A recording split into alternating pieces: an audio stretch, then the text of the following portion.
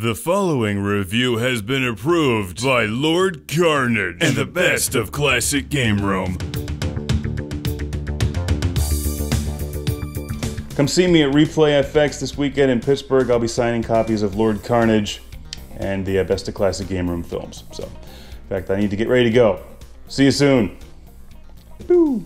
Welcome to Drawing with Lord Karnage. This is your artist and writer, Mark Bussler creator of Lord Karnage and artist and writer of Ethel the Cyborg Ninja and producer of Classic Game Room and general uh, all-around nice guy, sometimes, maybe, depending on who you ask. But uh, what, I'm, what I'm doing now is cleaning up Ethel the Cyborg Ninja Book 1. I have uh, put down about 115 pages of art for the book at the moment and going back to the beginning and just refining everything, making some editorial changes, cleaning up all the art. And I go through in waves, so there's probably still a few more passes to go.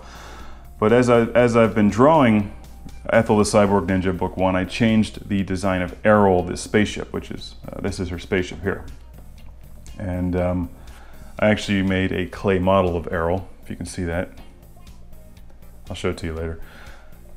And I've been using that as the new model uh, for, the, for the book, so I replaced the old Errol with this one and that shot there. And I'm actually working on the dashboard as well. Uh, here's page, page six. So if you see any typos or you know editorial issues, don't worry about it. That stuff gets cleaned up before the ending. Well, I ended up changing a couple shots just to reflect some various uh, style changes I made to Ethel and her, her eyes and her expressions and her hair and whatnot. I've still got some cleanup work here to do on her swords and I've done uh, more detail on her on her pistol. There's a shot of of Errol, which is larger than it looks actually, because she can hop out of the uh, thing here underneath it, and is flying towards this uh, giant rock, which the big creepy asteroid floating out in the middle of nowhere, and she's uh, looking for her dad, which is one of the main plot points. But of course, it gets absolutely ludicrous from there. Did some work on this a few days ago, cleaning up uh, page, this is page 11 of the book. And uh, one of the things I'm trying to do is make each page look really nice by itself. So I think I'm going to leave this shot here, even though Errol's flying in space with the tentacles starting to come out and grab, grab the ship from uh, Vectronix 9000. I'm going to leave it inverse with the white background. And here is a shot of Vectronix 9000, which I uh, I'm spending a lot of time making, as you can see. I have all these old books of uh, antique generators and whatnot from uh, my documentary days, so I go through and start picking out pieces of old generators and old electronics and dumping it in with references to some video game systems and whatnot. And that's uh, what we're looking at here is, is Vectronix 9000, which is the uh, main bad guy in Ethel the Cyborg Ninja. So this is still a work in progress. I'm gonna just work on this until I really am just pretty much done with the book. This is one of these like late night things. I'll just do 20 minutes here and there. Page, uh, page 13, where again, once again, I end up redrawing Errol the spaceship, making some design changes on Ethel's spacesuit.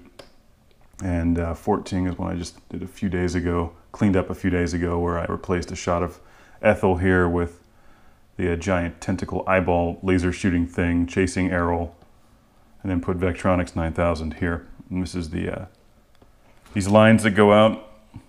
I've been using a Photoshop to just draw straight lines, and then I fill them in and merge all the layers later. This is taking uh, taking a hell of a lot of time, obviously. But I like to pack the book with details so that you can read it more than once and always find new stuff. So I really like to give the book a lot of replay value, as I say, which is probably a stupid thing that I'm saying, but that's still what I like to say. We're jumping up to page 27, which is which is fun. It's um, where she's lounging around the spaceship in her underwear, but it's more than just fan service because she actually has the uh, tattoos and constellations all over her. And uh, Edit Station 1 slips her a code uh, during, during the previous battle inside Vectronix 9000, which they um, then uh, figure out is actually a map that leads to, uh, well, you'll see. I don't want to give it away. And then we pick up the next uh, part of the book in Truxton, New York, which is a real place. Here's what I was just drawing this morning. I left, uh, every now and then what I'll do when, when I finish a page layout is leave a frame that's going to be a pain in the ass till later when I can spend a little more time on it and see how much more time I have left, which at this point is not much, but I put a lot of detail into Sloppy's Roadside Grill, where we have a wind squid knocking one of the biker punks out of the window. And I like to put lots of just detail in, in the windows and various uh, bizarre advertisements and stuff. And then here we have Jesus, the cooked up chicken, being saved by Space Gar in the background. And uh, of course, Jesus is a lot of fun to write. They're all fun in their own right, but uh, Jesus is definitely a blast since, um, well, he's Jesus. this is how he sees. And uh, we find themselves, we find the characters inside a game called Ultra Ever Pony Quest and Craft 8X Alpha, which is powered by Vectronix 9000 as the game engine. And inside the game, Jesus built a castle out of dirt and filled it with magic color ponies. This is actually the most recent drawing I just did for the book. And um, just looking at it now, I probably could clean up a few of these lines in here.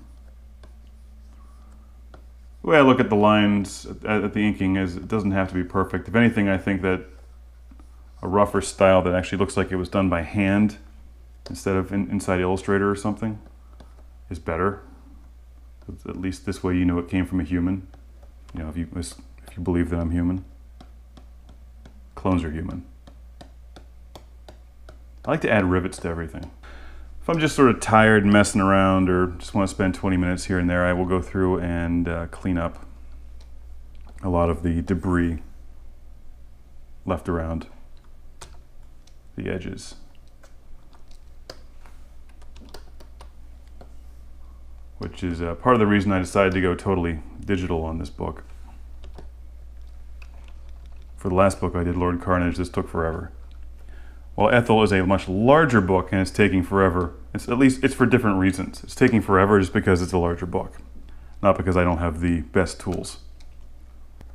But I've still got some um, various shading decisions to make on her uh, on her outfit. This is actually the uh, undersuit for her Samba Super Alpha Mecha Battle Armor, um, which you can see she still has some parts of it wrapped around here on her, where her jets fit onto her back. Various pieces of armor fit onto her and she's holding a flamethrower because it's, you know, one of my books. But here we still have some sketches in the background that you can see. So I can take those lines in and out. I, if I'm going direct digital drawing, I will draw on a layer with the opacity drop down, which if you've seen some of the previous videos, you might be able to uh, see me doing that. Actually, I got some of my layers out of whack over here. Sometimes I will do actual pencil sketch work, which, I, which I've done here. If I take the pencil sketch, or if I take the inks off, you can see there's a pencil sketch of Ethel there. So depending on what the drawing is, I will sometimes do it straight digital or pencil sketch it first. So there you go. Uh, Ethel the Cyborg Ninja will be delivered to the Kickstarter backers first as soon as I'm done with it and this uh, should be for sale from Classic Game Room later in the year. All the usual places like classicgameroom.com, Amazon, eBay. And it should be a look. Well, I, th I think it's looking to be a pretty good book. Wish I could work faster, but I am not a coked up space chicken, sadly. See you next time. Drawing Lord Karnage. Thank you.